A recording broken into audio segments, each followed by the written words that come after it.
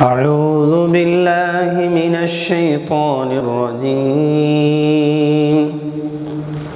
بسم الله الرحمن الرحيم. لا يحل لك النساء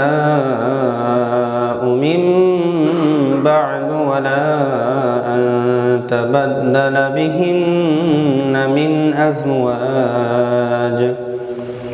من أزواج ولو أعجبك حسنهن إلا ما ملكت يمينك وكان الله على كل شيء رقيبا.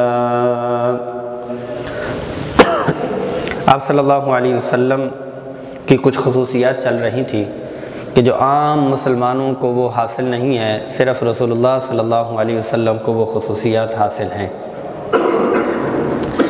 کہ آپ صلی اللہ علیہ وسلم کو جیسے عبادات میں چند خصوصیات ہیں، جیسا کہ تہجد کی نواز عقید و جہاں صلی اللہ علیہ وسلم کے اوپر فرض تھی، امت کے لیے فرض نہیں ہے۔ تو ایسی چند چیزیں آپ صلی اللہ علیہ وسلم کو اللہ کی طرف سے انعامیں ملی ہوئی تھیں۔ لا يحل لك النساء من بعد ولا ان تبدل بهن من ازواج ولو اعجبك حسنهن. یعنی چار صورتیں جو پہلے ہی گزری ہیں، لا کا معنی کیا ہوتا ہے؟ لا يحل لك، آپ کے لیے حلال نہیں، النساء من بعد، یہ جو پہلے ہم نے گزارے، اس کے علاوہ.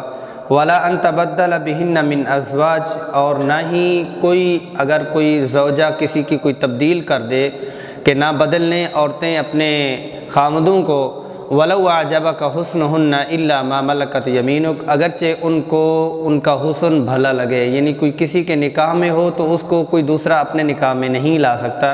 اللہ ما ملکت یمینک جو آپ کے ہاتھ میں کنیز ہوں، ان کا کوئی مسئلہ نہیں۔ یعنی ان کو خریدا جاتا ہے، اس کے ساتھ نکاح نہیں ہوتا۔ اگر کسی کی کوئی کنیز اور کسی کی کوئی باندی پسند آ گئی ہے تو اس سے اگر وہ خریدنا چاہے تو اس کو خرید سکتا ہے۔ وکان اللہ علیہ کل شعر رقیبہ اور اللہ جل جلالہ ہر ایک چیز پر نگہبان ہے اب اس میں صفت پہ غور کیجیے کہ اللہ جل جلالہ یہاں پر معاملہ ایسا ہے کہ یہاں تبدیلی اور خریداری اور اندر کی بات ہے تو اللہ جل جلالہ خود ہی نگران ہے جو نگرانی فرما رہے ہیں۔